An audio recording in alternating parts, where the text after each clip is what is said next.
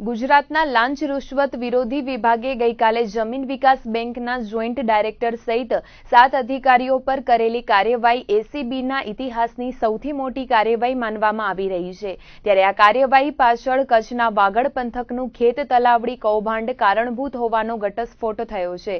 ગાંધીનગર એસીબીની ટુકડીએ સેક્ટર દસમાં આવેલી જમીન વિકાસ નિગમની કચેરીમાં લોખંડી બંદોબસ્ત સાથે ગત સાંજે પાડેલા દરોડા દરમિયાન નિગમના જોઈન્ટ ડાયરેક્ટર કેસી પરમારના ડ્રોવરમાંથી રૂપિયા ચાલીસ લાખની રોકડ મળી આવી હતી, જેથી એસીબીના અધિકારીઓ ચોંકી ઉઠ્યા હતા. ટીમે વિશેષ તપાસ કરતા નિગમના આસિસ્ટન્ટ ડાયરેક્ટર અને ફાઇનાન્સ કંટ્રોલર સહિતના છ અધિકારીઓ અને કર્મચારીઓ પાસેથી વધુ સોળ લાખ રૂપિયા જેટલી રકમ હાથ લાગી હતી. વિક્રમરૂપ અને જંગી રકમની લાંચના આ મહાકૌભાંડની ટ્રેપ પાછળ રાપર તાલુકાના ભીમાસર ગામે તાજેતરમાં જ કાગળ પર બનાવાયેલી બે ખેત તલાવડીનો કૌભાંડ નિમિત્ત બન્યું હોવાનું એસીબીના એડિશનલ ડાયરેક્ટર કેશવકુમારે કચ્છ ઉદયને જણાવ્યું હતું. આ મામલાની વિશેષ માહિતી આપતા કચ્છ બોર્ડર રેન્જ એસીબીના ઇન્ચાર્જ ડેપ્યુટી ડાયરેક્ટર અને રાજકોટ એસીબીના પીઆઈ કેએસ ગોહિલે જણાવ્યું હતું કે ભીમાસર ગામે દસથી બાર ખેત તલાવડીઓ બનાવાઈ હતી.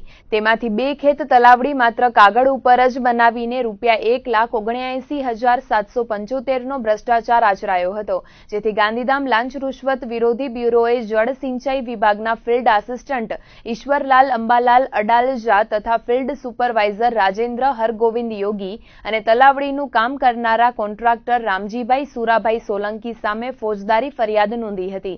ખેડૂતોને ખેત તલાવડી બનાવવા માટે સરકાર દ્વારા નેવું ટકા સબસિડી આપવામાં આવે છે, ત્યારે નાણાંની ભૂખ અને ભ્રષ્ટાચારની પણ કોઈ સીમા હોવી જોઈએ. પરંતુ ભ્રષ્ટ તત્વો તમામ નીતિમત્તાને નેવે મૂકી દેતા હોય છે અને ગ્રામ્ય વિસ્તારોમાં ખેડૂતો માટે ઉપયોગી ખેત તલાવડી બનાવવામાં સરકાર નેવું ટકા સબસિડી આપતી હોવા છતાં જળસિંચન વિભાગના ભ્રષ્ટ તત્વો સો ટકા રકમ ખાઈ જાય છે. માત્ર દસ ટકા રકમમાંથી જ કામ કરવાનું હોય છે. તે પણ ન કરીને તેઓ જાણે ન માત્ર સરકારનો પરંતુ સમાજનો પણ મોટો દ્રોહ કરી રહ્યા છે.